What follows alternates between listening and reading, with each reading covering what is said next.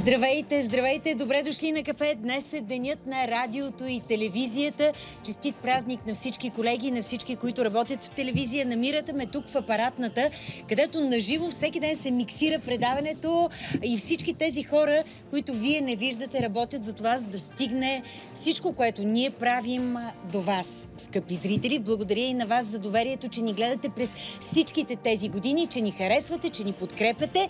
Мили ми колеги, честит празник! Страхотни сте, наистина. Няма да изреждам имената на всички. С някои работим от съвсем скоро, с някои колеги сме от първите години на кафе заедно, но нещото, което обединява всички редактори, репортери, режисьора ни, сценариста ни, редактор, озвучители, тон режисьори, оператори, шофьори, гримьори, стилисти, дано не пропускам някой. Всичко, което обединява всички ни е това, че много обичаме това, което правим.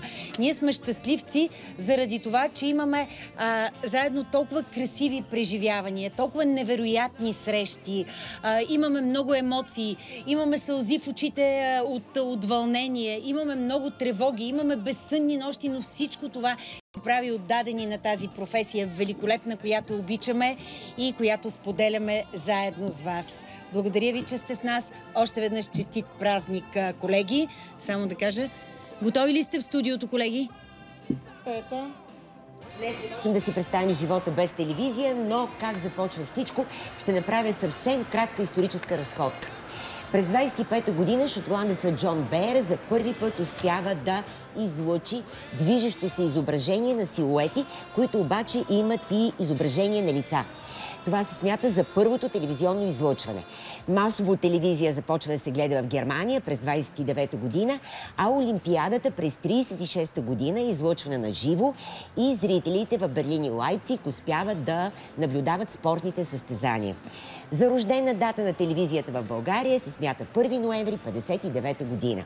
А първото излъчване е на манифестацията на 7 ноември 59 от площад Александър Батенберг. През това време телевизията е черно-бяла. Малко хора в България имат телевизори и тези, които имат, са като богопомазани. Съседите малко им завиждат, но отиват при тях на гости, за да гледат филми и предавания. И това продължава до 1972 година, когато телевизията става цветна. Тогава манифестацията на 9 септември 59 е излъчена на живо. Това е началото на цветната телевизия и това продължава и до ден днешен. Днес телевизията е толкова мощна и силна, че почти не можем да си представим, че нещо се е случило, ако то не е преминало през телевизията. Честит празник още веднъж! Честит празник, Това колеги. наистина е така. Това наистина е така. Да, честит празник и от мен. А, режисьора, се а, върна. Тихо, дойде си. Идвам малко да ви контролирам. Да. Да. И от тук.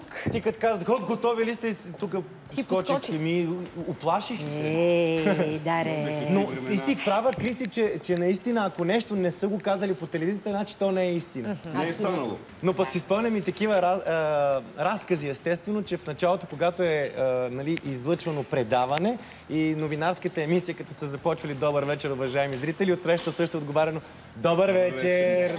Да сте разговаряли с Те телевизора. до днес много хора. Баба си говори с един сериал постоянно. С, Тя и с е, теб съм сигурна си говори, докато си в е, Да, ефир. това е шанс. Да, вече ги няма тия хубави лафове, като едно време, когато казахме, «А, ела вкъщи и гледаме мача на цвета. Да, да, да.